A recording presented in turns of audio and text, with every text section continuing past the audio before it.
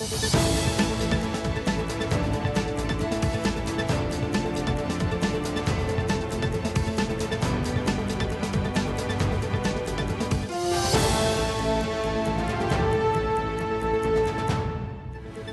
Здравейте с първите за деня новини по света и у нас. Кандидатът на Демократическата партия Джо Байден си осигури 253 електорални гласа срещу 213 за Доналд Тръмп. Действащият президент печели в 23 щата, сред които Тексас, Охайо и Флорида. Броенето в още няколко щата продължава. Сред тях е ключовият Пенсилвания, който ще осигури 20 електорални гласа.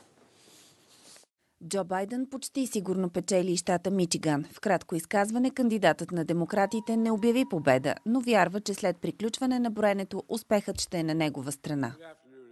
След една дълга нощ на броене е ясно, че ние печелим достатъчно щати, за да получим 270 електорални гласа, които са нужни за спечелване на президентския мандат.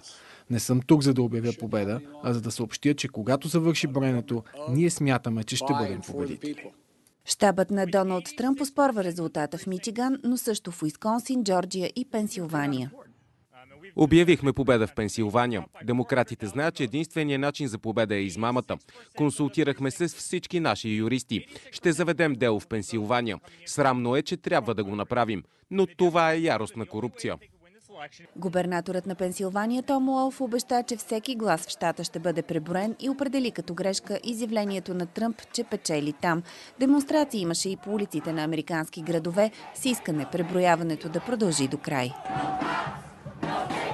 Избирателната активност на тези избори е близо 66,9%, най-високата от 120 години. У нас и днес над 4000 нови случаи на COVID. Данните на единия информационен портал за денонощието показват 4054 души с коронавирус. При направените 13203 теста това означава, че близо 31% от изследваните са се заразили. В болница остават над 3100 пациенти. В тежко състояние са 239, излекуваните са 403. От началото на епидемията 1466 души са загубили загубили живота си. Само за денонощието те са 54-ма.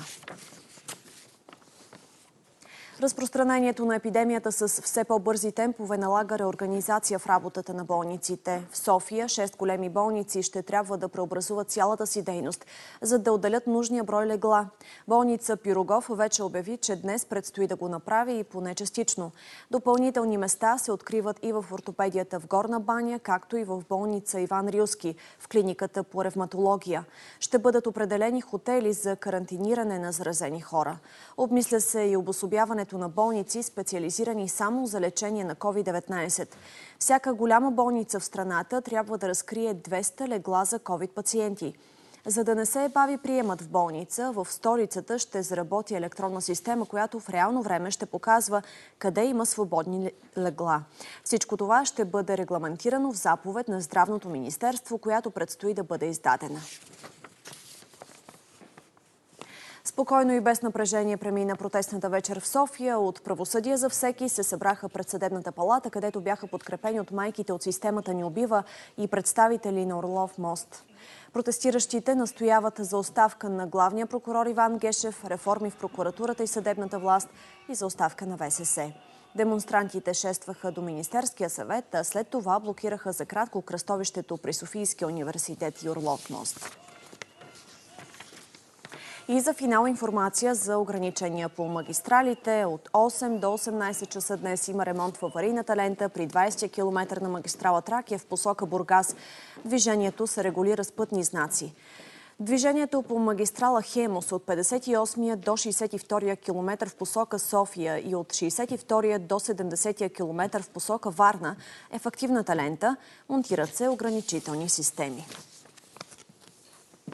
Още проверена информация, както винаги, ще откриете на сайта ни BNT News BG, както и в мобилното ни приложение. Споделяме важното и в страницата на Посвета и у нас във Фейсбук.